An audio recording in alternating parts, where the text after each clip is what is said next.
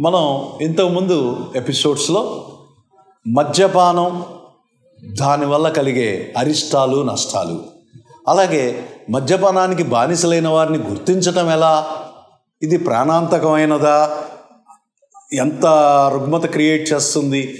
అనేవి చాలా వివరంగా చెప్పుకున్నాం. అయితే మద్యపానానికి బానిసలైన వాళ్ళు ఇంతేనా? ఇంకా వీళ్ళ జీవితం ఇంతేనా? వీళ్ళు దీని నుండి బయటపడే అవకాశం లేదా? మా మాకు మంచి జీవితం వచ్చే అవకాశం లేదా అని మద్యపానానికి ఎడిక్ట్ అయిన వాళ్ళు బాధపడుతుంటారు వాళ్ళ కుటుంబాలు బాధపడుతుంటాయి. మరి వాళ్ళకి విముక్తి మార్గం లేదా అంటే ఆల్కహాల్ డీఎడిక్షన్. ఈ డిఎడిక్షన్ అనేది ఆల్కహాల్ బానిసత్వాన్ని నుండి విముక్తి కలిగించటమే ఆల్కహాల్ డీఎడిక్షన్ అని మనం చెప్పుకుంటాం. మరి ఇది క్వాలిఫైడ్ సైకాట్రిస్ట్ మానసిక వైద్యుల ద్వారానే జరుగుతుంది. వేరే వేరే వాళ్ళ ద్వారా చేయించుకోవద్దు. ఎందుకంటే దీనికి నిష్ణాతులైన వ్యక్తులు క్వాలిఫైడ్ సైకాట్రిస్ట్లే కాబట్టి మద్యపానాన్ని ఆపినప్పుడు దానికి వైద్యం ఇచ్చేటప్పుడు అనేక పర్యవసనాలు సమస్యలు మనం ఎదురు ఎదురు చూస్తాం కాబట్టి వాటన్నిటినీ మనం కంట్రోల్ చేయాలంటే ఒక డాక్టర్ చికిత్స ఒక అనుభవజ్ఞుడైన మానసిక వైద్యుడి యొక్క చికిత్స ఈ డిఎడిక్షన్కి అవసరం. బాగా ఎడిక్ట్ అయిన వ్యక్తిని ఈ డిఎడిక్షన్ ట్రీట్మెంట్లో ఫస్ట్ వాళ్ళని మోటివేట్ చేయాలి మోటివేట్ చేస్తానికి కౌన్సిల్ చేయాలి. ఆల్కహాల్ని ఇలాగే వదిలేస్తే ఈ ఎడిక్షన్ వాళ్ళకి ఎంత ప్రమాదాన్ని చేకూరుస్తుంది? ఇంతకుముందు నేను చెప్పిన నష్టాలు కష్టాలు ఎందుకు మీరు ఎడిక్ట్ అయ్యారు? ఇవన్నీ సవివరంగా చెప్పి వాళ్ళని మోటివేట్ చేసి వాళ్ళని కౌన్సిల్ చేసి ట్రీట్మెంట్కి పేషెంట్ యాక్సెప్ట్ అయిన పరిస్థితుల్లో వాళ్ళని డిఎడిక్షన్ వైద్య చికిత్సలో హాస్పిటల్లో కొన్ని వారాల పాటు ఉంచాల్సిన అవసరం ఉంటుంది. వీరితో పాటు వీరి కుటుంబ సభ్యులు కూడా ఉంటే ఇంకా మంచిది. వీరు వీ హాస్పిటల్లో ఉంచాక వీళ్ళని దేనికైతే ఎడిక్ట్ అయ్యారో ఆ ఆల్కహాల్కి అసోసియేటెడ్గా ఏదన్నా స్మోకింగ్ కైని గుట్కా జరదా ఇలాంటివి కూడా ఎడిక్ట్ అయి ఉంటే వాటికి దూరంగా హాస్పిటల్లో ఐసోలేటెడ్గా ఈ సబ్స్టెన్సెస్ ఏమీ లేకుండా ఉంచి పేషెంట్ యొక్క కుటుంబ సభ్యుల యొక్క ఆదరణ ప్రేమ ప్రోత్సాహం అవసరం కాబట్టి వాళ్ళని కూడా ట్రీట్మెంట్లోకి భాగంగా తీసుకోవటం మంచిది. మరి పేషెంట్ ఇది మానేసిన కొన్ని గంటల్లోనే విత్డ్రాయల్ సిమ్టమ్స్ని ఎదుర్కొంటాడు.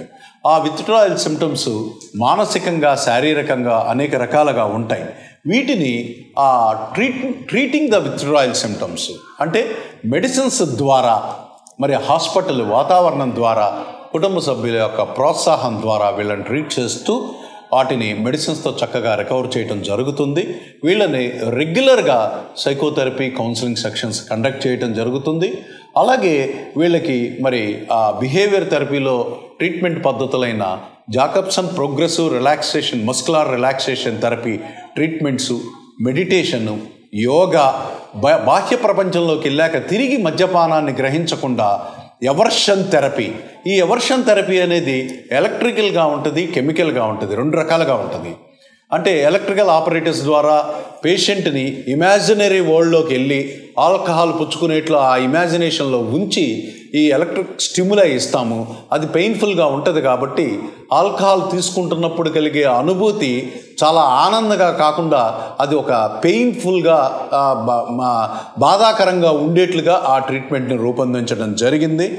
మరి అలాగే కెమికల్ ఎవర్షన్ అంటే యాంటీడోట్స్ అనమాట ఆల్కహాల్ యాంటీడోట్. కొన్ని మెడిసిన్స్ శరీరంలోకి ఇస్తే ఆల్కహాల్ తీసుకున్న అది యాంటీడోట్లా పనిచేసి ఆ వ్యక్తి ఆల్కహాల్ని శరీరంలో ఇముడ్చుకోలేక దాన్ని వాంతులు చేసుకోవటం అలాగే ఆ ఒక రకమైన శారీరక దుష్పరిణామాలు అంటే షా బీపీ తగ్గిపోవటం స్వెట్టింగ్స్ రావటం ఎయిర్ హంగర్ గాలి ఆడకపోవటం ఆయాసంలా రావటం మరి షాక్లోకి వెళ్ళటం ఇలాంటి లక్షణాలు ఉంటాయి కాబట్టి ఆల్కహాల్ని దరి చేరనీయకుండా జాగ్రత్త పడతారు. వాళ్ళకి ప్రాథమిక చికిత్సతో ఆ లక్షణాల నుండి కూడా బయటికి తీసుకురావచ్చు. అయితే నెక్స్ట్ టైం ఆల్కహాల్ తీసుకోవటానికి వాళ్ళు భయపడటం ఆల్కహాల్ మనకు వద్దురా అనుకోవటం అనేది జరుగుతూ ఉంది. మరి ఇదంతా అయిపోయాక ఆల్కహాల్లో ఇన్నాళ్ళు కాలం గడిపిన సమయం ఏమవుతుంది? రోజుకి ఎన్నో గంటలు ఆల్కహాల్లో గడుపుతున్నారు. ఇదంతా ఖాళీ అయిపోతుంది బయటకు వచ్చాక. ఇప్పుడు వీళ్ళకి రీహాబిలిటేషన్ లాగా వాళ్ళకి ఇష్టమైన గేమ్స్ కానీ లేకపోతే బిజినెస్ అవర్స్ పెంచుకోవటం కానీ కుటుంబ సభ్యులతో చక్కగా టైం స్పెండ్ చేయటం సరదాగా బయటికి వెళ్ళటం సినిమాకి వెళ్ళటం కుటుంబ సభ్యులతో చిట్చాట్ చేయటం సంతోషప్రదంగా మంచి మిత్రులతో కాలక్షేపం అలాగే సత్సా సత్సాంగత్యం అలాగే సాహిత్యం అలాగే మంచి మ్యూజిక్ వినటం మంచి ప్రోగ్రామ్స్ చూడటం ప్రోగ్రామ్స్ అటెండ్ అవటం లైఫ్ని ప్లెజరబుల్గా ఆనందంగా సంతోషంగా ఆరోగ్యకరంగా ఆనందించే మార్గాలు ఎన్నో ఉండగా ఈ బురదలో పొరలాడి డ్రగ్స్ మత్తు ఆల్కహాలు ఈ గుట్కాలు గంజాయిలు ఇలాంటి బురదలో పొరలాడటం అనేది ఎంత దారుణమో ఊహించండి. ఇలా చక్కగా సంతోషంగా ఆనందంగా గడిపేట్లుగా రీహ్యాప్ చేయటం మరి బయటికి వెళ్ళాక కూడా ఆరు మాసాల నుండి పన్నెండు మాసాల వరకు వీళ్ళు follow up maintenance and prophylactic therapy treat చేసిన సైకాట్రిస్ట్ దగ్గరికి ప్రతి నెల వచ్చి ఎలా ఉంది చెప్తూ కొన్నాళ్ళు మెడిసిన్స్ వాడటం మంచిది. అలాగే మానేశాక వీళ్ళకి గ్రూప్ సైకోథెరపీ లాగా ఆల్కహాలిక్ ఎనానిమస్ అసోసియేషన్ ఈ తాగుడు మానేసిన వ్యక్తులు తాగుడు మానేసిన వ్యక్తుల కుటుంబాలు కొన్ని కలిసి ఒక ఎనానిమస్ అసోసియేషన్ అంటే పేరు లేని ఒక అసోసియేషన్ ఇలా అసోసియేషన్గా ఫామ్ అవుతారు. వాటికి రెగ్యులర్గా వారానికి ఒకసారి రెండుసార్లు వెళ్తూ ఆ అక్కడ గ్రూప్లో మనం ఒక బావిలో కప్పలా జీవించాం. తాగుడు వల్ల ఇవే సమస్యలు ఇవే బాధలు అనుకుంటే ఇన్నాళ్ళు జీవించాం. కానీ నిజంగా తాగుడు వల్ల ఎన్నెన్నో సమస్యలు ఆ ఆ వ్యక్తుల కథలు ఆ ఎనానిమస్ అసోసియేషన్లో వాళ్ళ యొక్క వ్యక్తిగత జీవితాలు తాగినప్పుడు ఎన్ని కోల్పోయామో కొంతమంది ఆ తాగుడు మైకంలో తల్లిదండ్రులను నిర్లక్ష్యం చేసి కోల్పోయిన వాళ్ళు ఉన్నారు. భార్య దూరమై విడాకులు పొందిన వాళ్ళు ఉన్నారు. బిడ్డలు దూరమై ఉన్న వాళ్ళు ఉన్నారు. ఆస్తులు కోల్పోయిన వాళ్ళు ఉన్నారు. పూర్తి నిరాదరణకు గురైన వాళ్ళు ఉన్నారు. ఉద్యోగాలు కోల్పోయి స్టేచర్ కోల్పోయి ఆస్తిని కోల్పోయి సోషల్ ఇమేజ్ కోల్పోయి బ్రతుకు బజారున పడి జీవోత్సవంలా బతుకుతున్న వాళ్ళు ఉన్నారు.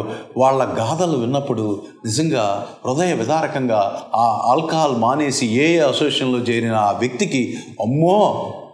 ఆల్కహాల్ నన్నే కాదు ఇన్ని కుటుంబాలని ప్రపంచంలో కబలించేస్తుందా? వద్దురా బాబు పొరపాటును కూడా దీని జోలికి వెళ్ళొద్దు వెళ్ళను వెళ్ళకూడదు. నేనే కాదు నా తోటి మిత్రుల్ని దీని బారిన పడే వ్యక్తుల్ని ఎవరన్నా తాగుదాం అనుకున్నా సరే వద్దు అని నేను చెప్తానికి కంకణం తీసుకుంటున్నాను అనే మనస్తత్వానికి వచ్చేట్లుగా ఈ గ్రూప్ సైకోథెరపీ పనికొస్తుంది. తక్షణ మద్యపానం ముందే చెప్తున్నాను prevention is better than cure వాటికి ఎడిక్ట్ అవటం దాని నుండి బయటికి రావటం బానిసత్వం పెంచుకోవటం బయటికి రావటం కాదు.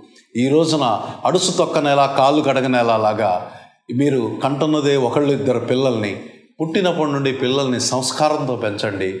మోరల్స్ ఎథిక్ ఎథిక్స్ చెప్పండి. ఫ్రీడమ్ ఫైటర్ స్టోరీస్ చెప్పండి. గొప్ప గొప్ప రీసెర్చర్స్ స్టోరీస్ చెప్పండి.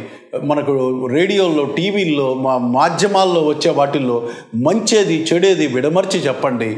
పిల్లల్ని ఒక మహోన్నతులుగా గొప్ప వ్యక్తిత్వంతో తీర్చిదిద్దండి. ఇలాంటి డ్రగ్స్ ఆల్కహాల్ మత్తు పదార్థాల జోలికి వెళ్ళొద్దని చిన్ననాటి నుండి వాళ్ళ మెదడులో బీజంలా నాటండి.